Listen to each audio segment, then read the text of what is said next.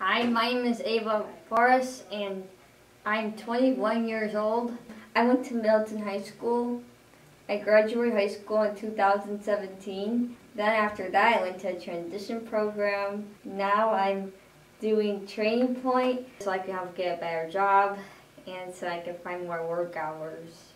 I used to work at Pizza Brew and I also used to work at Pasquale's. I did work at a new and I did volunteer at uh, Tabby and Jack's and the senior center and I volunteered at Brookdale and I've also done some um, job shadowing. I like to hang out with friends and family members and I like to travel and go places.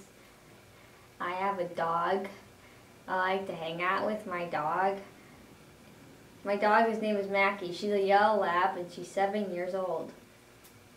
She's, she's kind of like one of my, my, my best friends. I also enjoy art.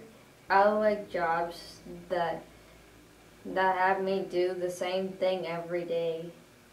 I don't really like it when my schedule changes because it makes me feel a little stressed out. I also speak Spanish, which actually is part of a reason why I want to I want to be able to translate for people who can't speak English to be able to help other people out when they need something.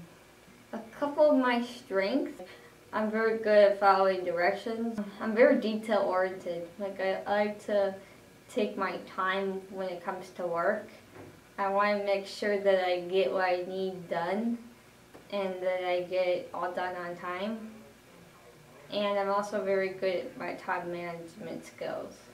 Sometimes I might have to ask for a break sometimes because I do get a little stressed out sometimes. I and I do take a break and I and I do like listen to my music to help me kind of kind of relax a little bit if I'm feeling a little overstimulated. I want to learn how to become independent live on my own. Gracias por viendo. Uh, thank you for watching.